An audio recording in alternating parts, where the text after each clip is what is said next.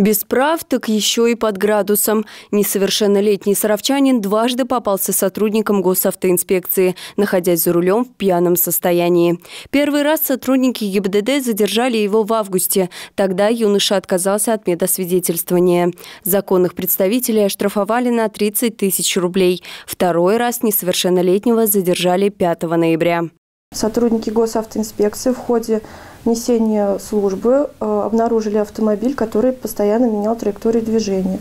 После его остановки было установлено, что лицо является несовершеннолетним и подвергалось ранее административному наказанию за управление в состоянии алкогольного опьянения. На него был составлен материал по статье 264.1, а также на его родителей был составлен административный материал по статье 5.35 за невыполнение ими родительских обязанностей. Теперь родителям грозит еще один штраф в размере от 200 до 300 тысяч рублей. Либо юноша получит тюремный срок до двух лет. На прошлой неделе 9 водителей поймали пьяными за рулем. Одна э, статья 264.1 повторное управление в состоянии алкогольного опьянения. Три э, по статье 12.8 лица, которые были впервые подвергнуты административному наказанию за управление транспортным средством в состоянии алкогольного опьянения и пять э, случаев, точнее, отказа от э, освидетельствования на предстоящих выходных инспекторы в очередной раз проведут операцию «Бахус», в рамках которой будут выявлять нетрезвых водителей.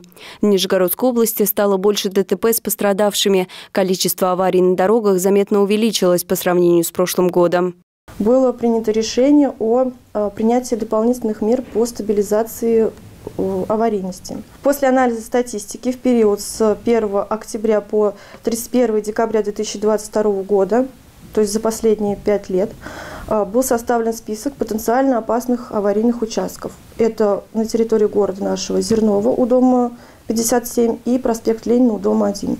Патрульные вместе с участковыми будут раздавать листовки и предупреждать водителей о соблюдении ПДД. Также с ноября по декабрь правоохранители продолжат профилактическую работу в зонах пешеходных переходов. Дарья Козина, Константин Островский, Сергей Рябов. Служба новостей Саров 24.